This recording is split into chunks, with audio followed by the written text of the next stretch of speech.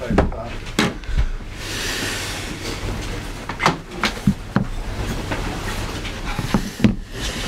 good. Right, guys, fire away, please. Jürgen Sadio looked like a player who was absolutely bursting to get on the pitch, and then he made a difference for you yet again. Yeah, helps when you have such a quality um, on the bench to, to bring on.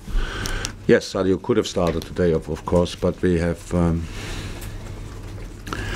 I wanted to have a free decision for, for Tuesday, actually. Don't think too often and too much about these games, but when two players are back from injuries like Sadio and Fabinho, you don't think they can play two games. Should play. Can, yes, if you have to, but should play. And the quality of the other boys is just too, too big that you have to push uh, somebody through. So it was perfect, I think, for Sadio to get today a few minutes, but it looked like he was ready, yes. You, you said on television that you felt first half uh, things weren't quite right in terms of your shape and the gaps between the lines. Look, the thing is, um, it's easy to talk about um, the wind and stuff like this, but on the pitch, the boys have to, to deal with it, and um, and we we we played for sure two, three, four um, long balls too many. And especially the, formation was not prepared for that, so we didn't. We were not there for the second ball stuff like this. We we, we didn't obviously feel um, that we can play the balls through the, the smaller gaps.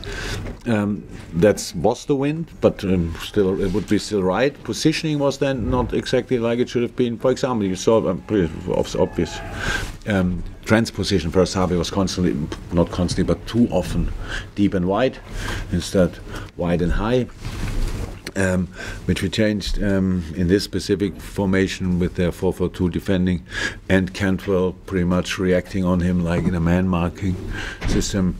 So that gives so many different options then immediately. Um, then we obviously our midfield was sometimes surprised by the long balls of our centre halves and just couldn't push up early enough or quick enough.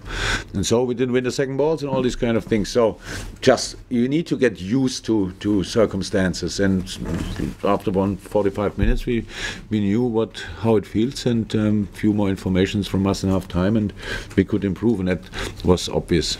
Um, obviously, much better than second half. So many counter press situations where we won the balls back, where we put them under pressure, kept them under pressure, um, and scored obviously a wonderful goal. Um, yeah, that's it.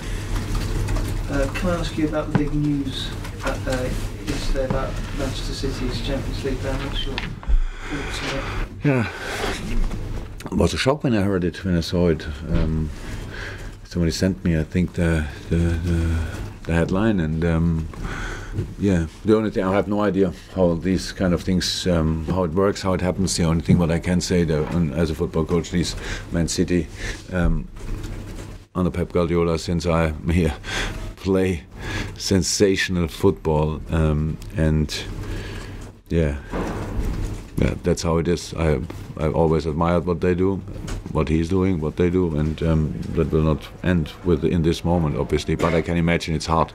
It's really hard in the moment for the sports people. Um, you trust your people; they tell you it's all fine, and obviously the UEFA sees that slightly different. And uh, yeah, now they have to deal with it. I have no idea what will happen next. But people will look at, the 2013-14 title, which covers that period, or look back at last year's title, and they'll say, well, should Manchester City Have keep you found any, anything in the Premier League? No, I cannot say. I don't. I know, but I cannot say anything about it. I have really no idea what they what it was exactly. I saw now we prepared the game, so I saw the, the headline. I saw a few things. What what was said. Um, obviously, um, City will appeal, and I, I can imagine there will come much more things up because um, much more information's probably. And um, but in the moment I don't have more, um, and I can imagine that people will talk about that. But that's it. In the moment, to be honest, I, I feel for for Pep and, and the players because it's wow. They did for sure nothing wrong. They just played football and sensational football. Wherever Pep was, he he helped each league to to to to to improve football and. Um, but then in the end, we all have to respect some rules, and I have no idea if they did or not. But obviously, UEFA sees it, sees it like this that they didn't, and yeah, then we will see what happens. Will it make your job more difficult next season in the Premier League? Since, well, as things stand, City just concentrate on domestic football. maybe a bit tougher than it has been. Okay, that's interesting. Didn't think that far so far, but um, so I have no idea about next season. So um, what that will mean. Yeah, but um, yeah, we will see as well. No, thanks. Thanks, guys. Thank you. Okay, Thank you very much. Cheers. uh, we don't do the Mondays here. Cheers.